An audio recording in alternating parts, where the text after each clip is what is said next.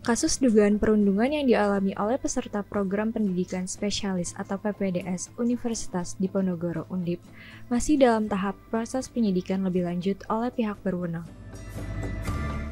Diketahui Dr. ARL merupakan mahasiswi PPDS Fakultas Kedokteran Undip Semarang yang ditemukan tidak bernyawa di kamar kosnya 12 Agustus lalu. Sebanyak 17 saksi sudah diperiksa, di antaranya teman dan keluarga korban. Hanya itu, Inspektorat Jenderal Kemenkes RI maupun Inspektorat Jenderal Kemendikbudristek juga ikut diperiksa. Kepolisian saat ini telah mengantongi sejumlah data yang akan digunakan untuk penyelidikan.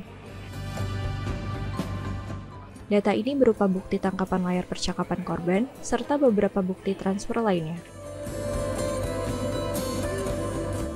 Kabit Humas Polda Jawa Tengah Kombes Pol Artanto mengatakan, tak menutup kemungkinan dosen tempat korban menempuh pendidikan juga akan diperiksa.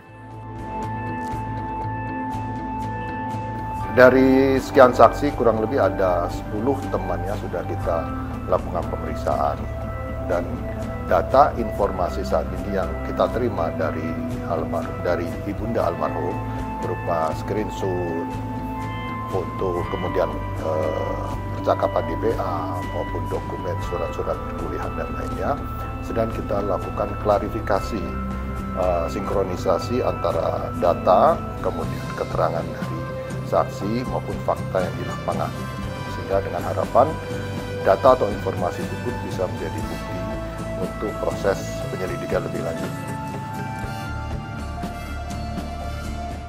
Saat ini, kepolisian masih fokus pada pemeriksaan dengan dugaan perundungan dan pemerasan.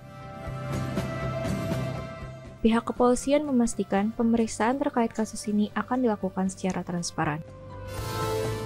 Kepolisian juga masih menunggu hasil otopsi psikologi korban. Dirinya juga meminta semua pihak bersabar karena harus menangani kasus ini dengan teliti.